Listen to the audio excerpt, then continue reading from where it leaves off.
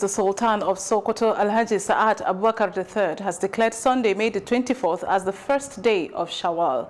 Abubakar said this in a statement by Professor Sambo Junaidu, the chairman of Advisory Committee on Religious Affairs of Sultanate Council in Sokoto on Friday.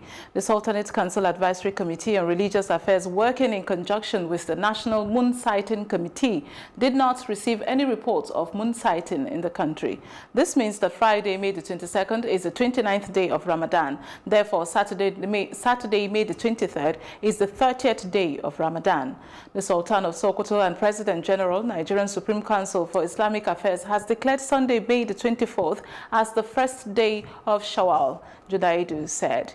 He felicitated with the Muslim Ummah and wished them Allah's guidance and blessings.